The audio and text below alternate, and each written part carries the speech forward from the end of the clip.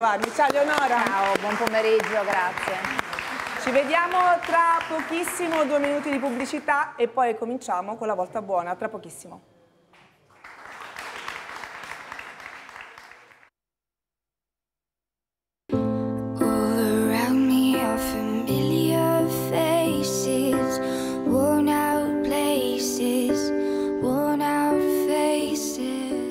Tornerà. A noi Giulia manca immensamente. I find it kind of sad. The dreams in which I'm dying are the best I've ever had.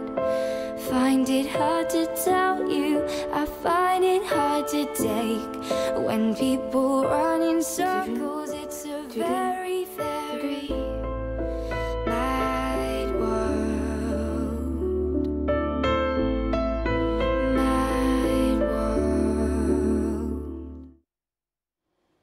Ancora buon pomeriggio, sono con Eleonora Daniele che questa mattina ha intervistato a lungo Elena, la sorella di, di Giulia. Proprio con lei faremo il punto su questo ennesimo caso di femminicidio. A pochi giorni dal 25 novembre la giornata internazionale per l'eliminazione della violenza contro le donne. Eleonora, sono giorni pesanti e tra l'altro tu conoscevi bene questa famiglia. Sì, la conosco bene perché la famiglia della mamma di Giulia è di Saunara, cioè lo stesso paese dove io sono nata e cresciuta, me la ricordo molto bene la mamma di Giulia, come mi ricordo. E ho un bellissimo ricordo degli altri zii, tra cui Andrea, che è lo zio eh, con cui ho passato tante volte con la nostra compagnia lì a Saonara, tante belle serate insieme in compagnia.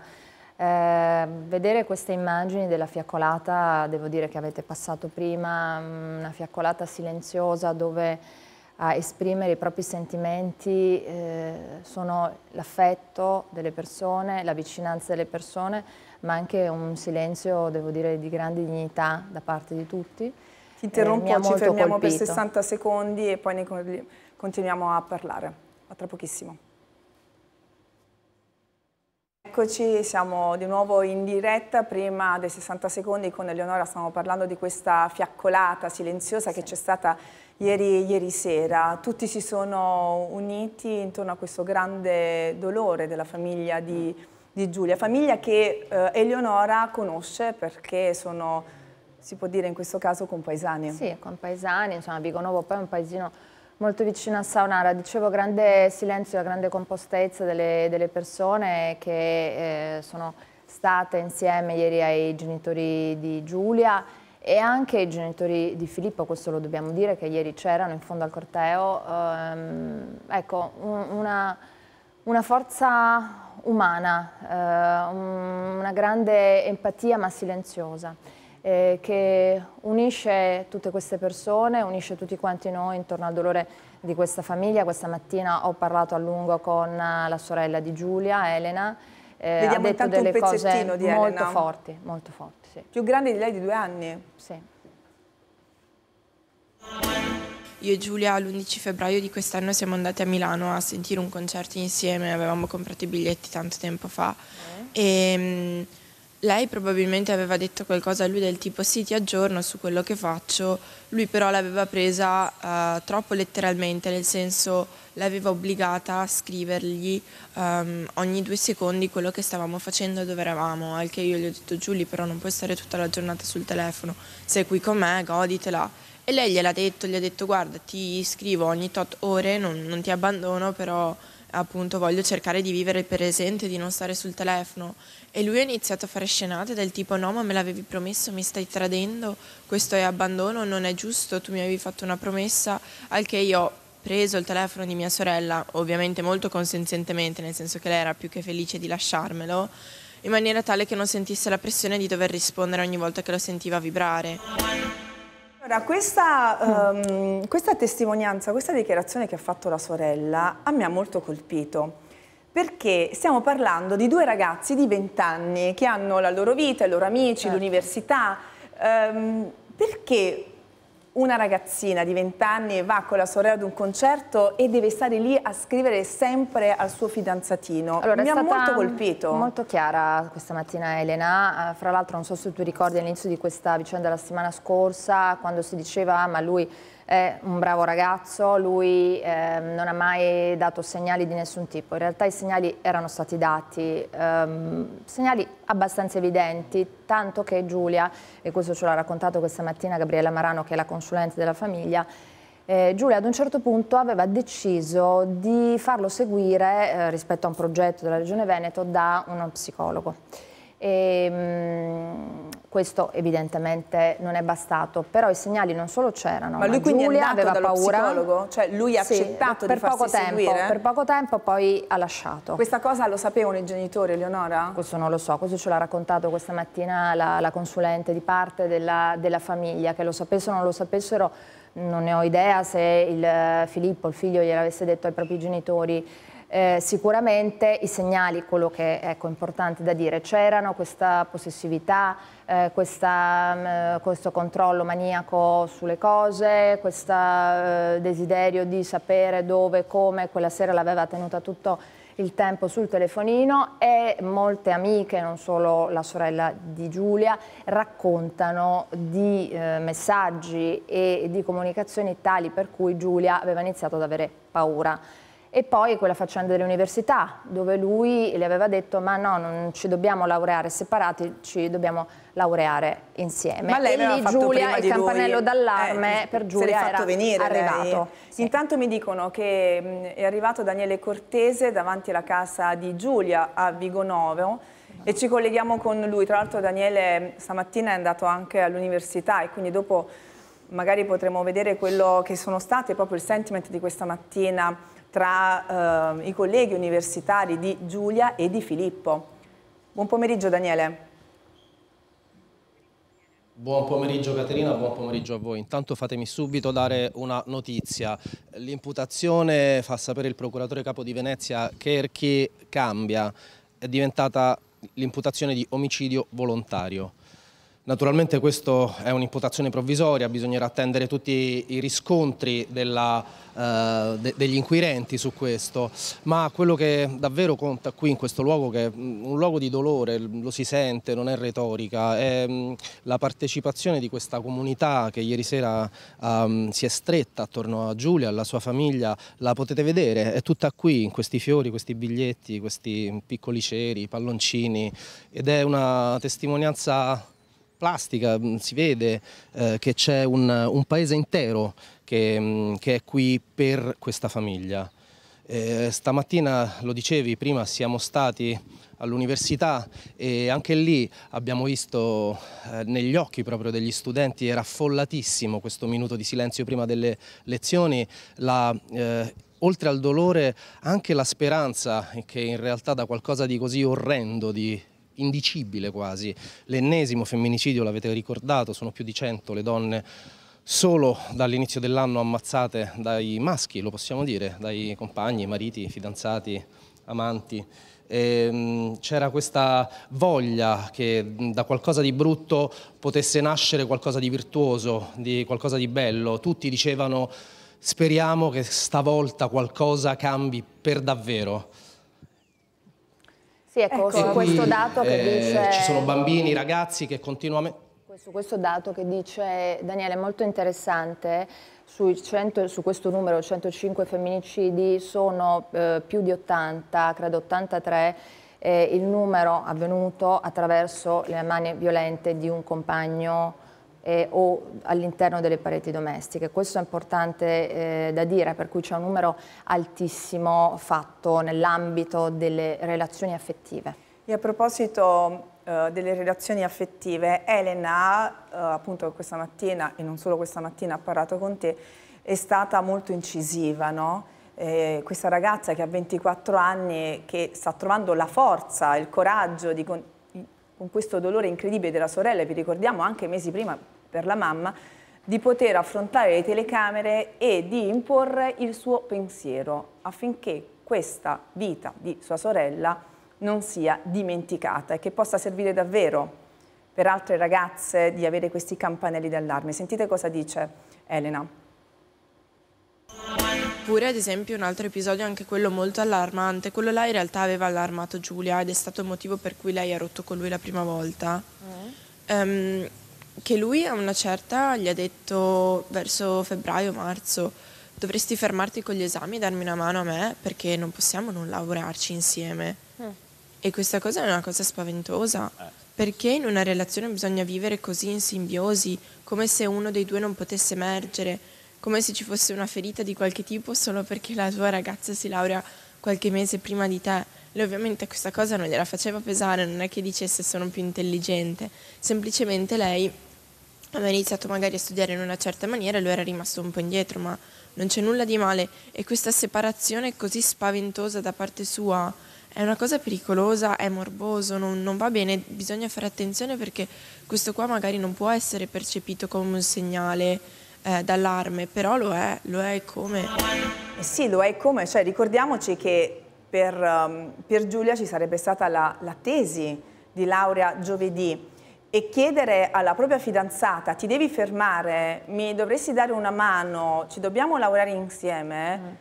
A Filippo è, mancavano, è terribile, Eleonora. Sì, a Filippo mancavano 6-7 esami, per ma cui da solo, eh, cioè. è veramente assurdo quello che, che, gli ha chiesto, non è che eh, la donna debba aspettare l'uomo per laurearsi o e viceversa, quello che ha detto, attenzione, quello che ha detto eh, esattamente cioè. la sorella questa mattina, una comunicazione sicuramente non di imposizione ma di riflessione perché eh, Elena eh, di fatto parla alle sue coetanee, alle ragazze che hanno l'età di Giulia e dice eh, semplicemente è un messaggio molto semplice, state attente, state attente, cercate eh, ovviamente di leggere i segnali, sono segnali quando c'è qualche eh, ragazzo, fidanzato, geloso, possessivo, che ha la mania del controllo, attenzione perché quella è una relazione tossica, una relazione che fa soffrire e soprattutto è una relazione che può diventare molto pericolosa. Lei si era accorta eh, aveva paura, si era accorta di questo sentimento possessivo di eh, Filippo nei confronti di Giulia.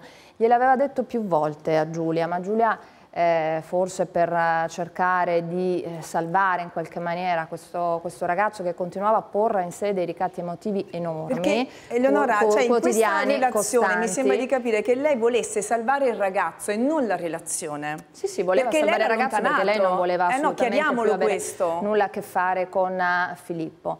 Eh, anzi, non voleva nemmeno, questo ha detto Elena questa mattina, non voleva più nemmeno esserci amica perché lui ormai era diventato veramente, veramente ossessivo. Sono molto forti le parole anche del padre di Filippo, dei genitori di Filippo che dicono attenzione, noi non pensavamo, non sapevamo, non capivamo, ecco, non credo sia nemmeno giusto colpevolizzare i genitori, oggi credo che tutta la società, guardate tutta, eh, dall'istituzione alla politica, a, ai giornalisti, all'informazione si debba veramente interrogare, ma mh, di farlo in maniera profonda.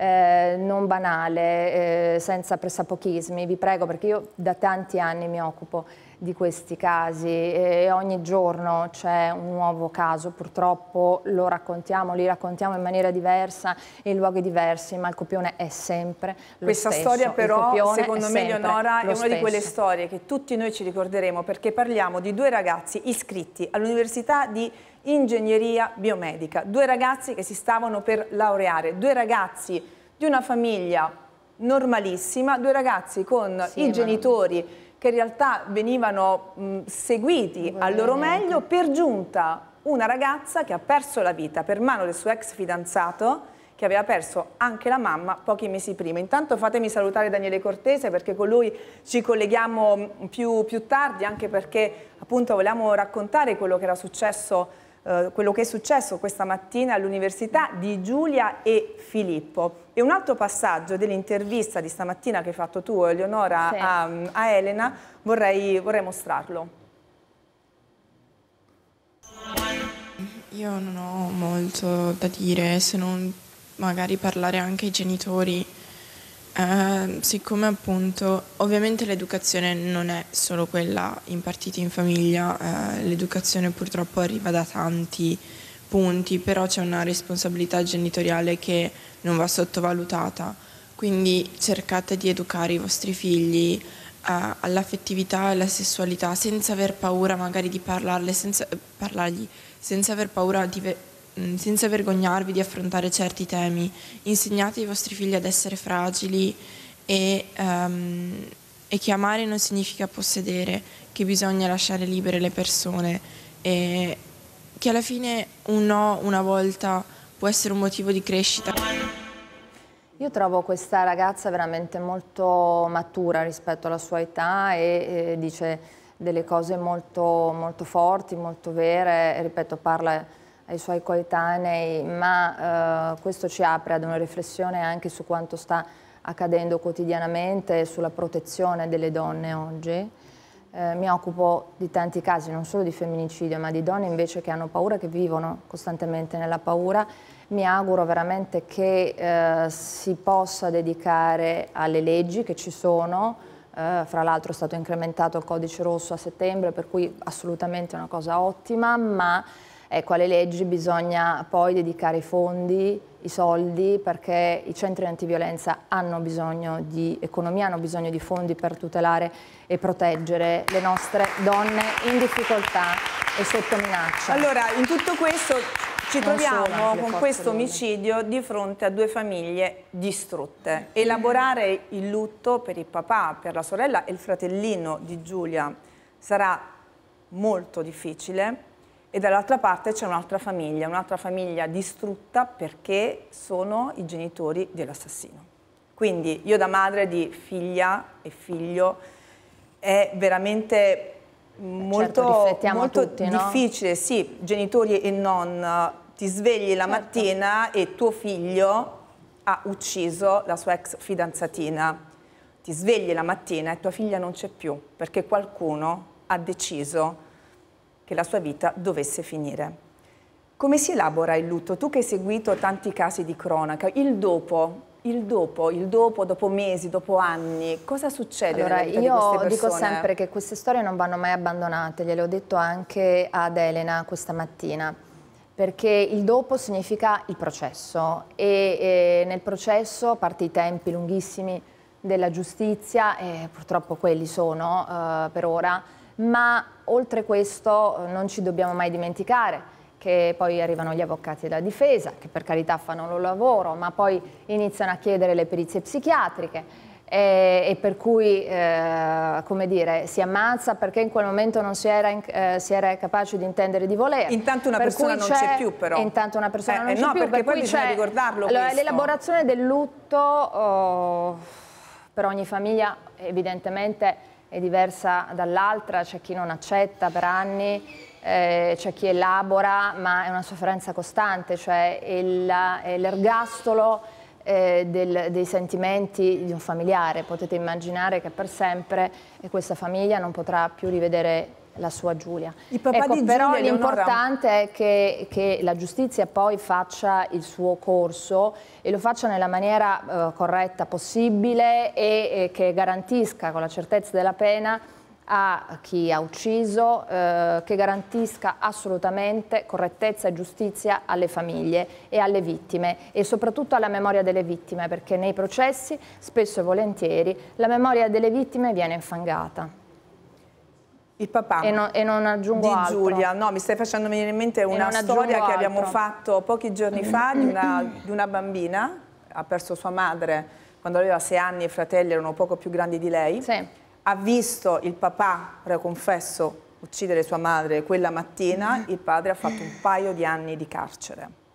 Era una storia di vent'anni fa. Sì, sì, quando si parla di certezza esatto, della pena, esatto. in realtà è que questo il uh, Quindi mh, giusto sottolinearlo, per fortuna poi sono state fatte anche nuove, nuove, nuove regole, nuove leggi. Il papà di Giulia, un uomo distrutto da dolore, ha cercato di mantenere quel contegno molto dignitoso. Molto molto dignitoso. dignitoso. Io penso pochi avrebbero avuto quel, quell'atteggiamento eh, molto difficile, molto dignitoso. Si vede che è un uomo che convive col dolore. Non solo, ha parlato anche dei genitori di Filippo, e credo comprenda assolutamente quale sia lo stato in cui si trovano in questo momento psicologico e, e, e umano in cui si trovano questi genitori che continuano ovviamente ad esprimere condoglianze e vicinanza ai genitori della stessa Giulia, hanno detto Giulia era qua, stava qua da noi, eh, ci sembrava and andasse tutto bene. Ecco, questo padre eh, ha parlato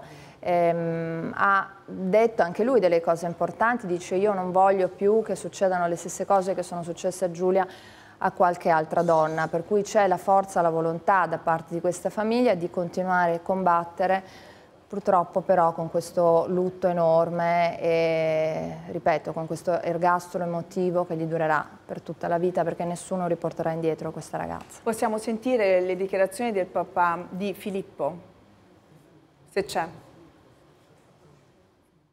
Siamo molto vicini eh, a, a, questa famiglia. E, e quindi non, non riusciamo a capire come possa aver fatto una cosa così, un ragazzo che cioè abbiamo cercato di dare tutto quello che potevamo dare, mi hanno detto che l'hanno trovato e cioè, che se voleva anche andare in giro, cioè, è una cosa dura, cioè, non sapevo più se, cioè, cioè, non è quella cosa che, perché non è che sia tornato da un viaggio e quindi eh, sì, eh, dico ma sì, sì, perché avrei preferito che forse la cosa finisse in un altro anche modo. Addirittura.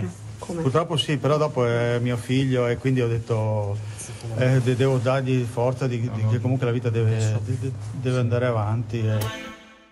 È mio figlio, gli devo dare forza, la vita va avanti, anche se per la sua ex fidanzata la vita non c'è più. E um, l'immagine di un padre che non capisce come sia stato possibile. possibile. Cioè, la, loro fino all'ultimo hanno sperato che, che finisse in maniera diversa. Si fosse allontanato e che avesse convinto Giulia, l'abbiamo sperato tutti fino all'ultimo ovviamente. Eh, poi il padre di Filippo è arrivato a dire anche delle cose che probabilmente non pensa, poi gli hanno chiesto ma tu uh, vuoi rivederlo, hai desiderio di rivederlo e dice non è che è andato a farsi un viaggio e certo. per cui ho certo. desiderio di vederlo, su questo non, non rispondo, è stato molto molto vago, per cui eh, sicuramente c'è una grande comprensione anche su quello che provano questi, eh, questi, genitori. I genitori non vanno colpevolizzati, sicuramente i figli vanno ascoltati, anche perché, ma non scusami, è sempre colpa dei genitori genitore, perché c'è tutto un sì, sistema. da genitore quante mm, volte un in sistema ore, di educazione. In questi giorni loro diranno a loro stessi dove abbiamo sbagliato, cioè è indubbio perché lo facciamo noi nel nostro piccolo, figurati Guarda, se succede una tragedia del genere, ti dice ma dove abbiamo sbagliato? Fra l'altro si parla tanto di educazione emotiva, siccome ne parliamo da tanti anni ma mettiamola adesso, a scuola questa educazione adesso Valditara, eh, eh, il cioè, ministro Valditara ne ha, hanno aperto questa mattina i quotidiani dicendo che eh, ci potrebbe essere nei licei ecco, un'ora appunto di educazione sentimentale. Anche Insomma, perché la parte... Come vogliamo, però di racconto di quella che è l'affettività e l'emotività che purtroppo, mi dispiace dirlo, con eh, i social, con i telefonini, con tutti i mezzi nuovi di comunicazione che da una parte sono un vantaggio, dall'altra parte sono uno svantaggio perché spesso e volentieri i ragazzi purtroppo vivono su quella roba lì e, e per cui è difficile anche parlarci, è difficile ascoltarli perché noi non ci dobbiamo dimenticare che oggi i genitori sono comunque soli, eh, soli davanti a però una società, scusami, ad un sistema, i, i ragazzi sistema molto tanto tempo a scuola complicato. e allora se i genitori, che ormai i genitori lavorano tante ore, quindi sono sempre di meno a casa, ma a scuola i ragazzi ci vanno, è la scuola che deve fare il primo passo, perché Siamo un tutti. genitore non ha tutto questo tempo, se ne può parlare, si può educare, però un aiuto da parte della scuola serve. L'Italia è tra i paesi eh, europei a non avere l'educazione sì, sentimentale sì. a scuola, quindi io comunque la introdurrei. Guarda Caterina, siamo un po' tutti, la scuola, tutte le istituzioni, no? la scuola, eh, la famiglia, l'informazione, fare informazione corretta su questi casi, su queste storie è importantissimo perché altrimenti si rischia di banalizzarle e eh, di raccontare la superficie di storie così importanti ma soprattutto eh, di eh, protezione dove la riflessione costante, quotidiana, l'impegno quotidiano di tante persone che sono dedicate a queste tematiche, se no si mette in seconda parte. Ecco, credo che sia oggi che sia importante dire questo. Tu che sei diventata mamma non da tantissimo tempo eh di, sì. di, Carlotta, è diventata anche la protagonista della tua favola di, di Natale. Sì. Sì, ho scritto questo libro di favole perché penso che sia importante ascoltare i figli, ma anche parlare con i nostri figli. Carlotta è piccolissima, però il desiderio così di racconto, di interloquire, di dialogare eh, con mia figlia è così importante e ho iniziato a scriverle le favole che ogni tanto Beh, le leggo. emozionata, no? Perché la, la protagonista di questa favola, Pigiama Pois, si Grazie. chiama Carlotta. Grazie, eh sì, il Pigiama Pois, sono tutte favole di Natale, fra l'altro eh, sempre come ogni favola con un lieto fine. Beh, meno male. Grazie Eleonora, continueremo a seguirti a Storie Italiane visto che continuerai a occuparti di questo, di questo caso. Quando c'è stato il ritrovamento del, eh, del corpo di, di, Giulia, in onda c'era Ballando con le Stelle, lo stesso Iva Zanzaroni a nome di tutta la, la, squadra di Ballando con le Stelle ha voluto appunto mandare un abbraccio virtuale alla famiglia. Lo guardiamo insieme. Grazie ancora Eleonora. Grazie.